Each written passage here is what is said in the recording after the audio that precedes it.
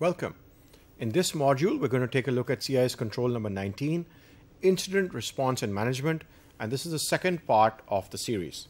This is the layout for version 7 controls, and control number 19, Incident Response and Management, is uh, in the organizational set of controls of CIS.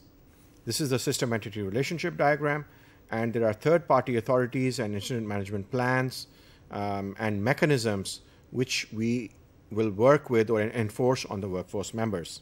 Control number 19.5 maintain contact information for reporting security incidents. Assemble and maintain information on third party contact information to be used to report a security incident, such as um, information, contact information of law enforcement, relevant government departments, vendors, etc. So, whenever an incident happens, we need to maintain a list because we may need the help of third party vendors we may need the help of the security agencies um, or the law enforcement agencies like the police, the fire brigade, um, the bomb disposal unit, or even the, uh, uh, for example, the law enforcement or the uh, investigation agency, for example, that is going to investigate if a cyber crime has been has been uh, unfortunately taken place.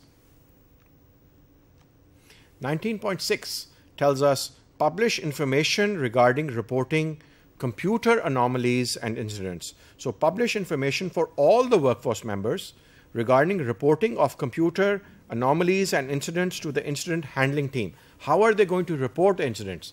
Uh, the workforce members need to know who to contact, who to send information to, what format they need to send it in. Such information should be included in routine employee awareness activities.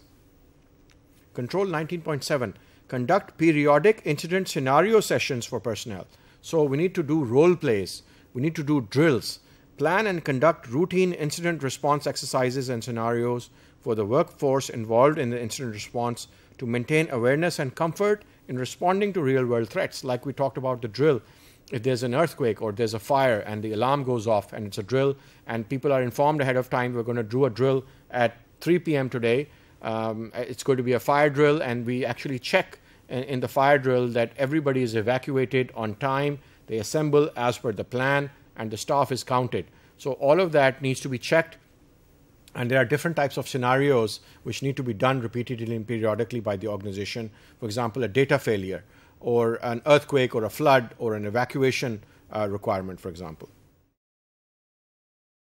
Exercises should test communication channels, decision making, and incident responders' technical capabilities using tools and data available to, for them to them. For, so all of these different situations, once they are examined, we should be able to see how have we has a has an incident been reported correctly, uh, has the role playing been done correctly, um, have all has all the decision making been done correctly, and all the technical people that were involved were they present, were there backups, and were they able to recover from the situation. And 19.8 create incident scoring and prioritization schema.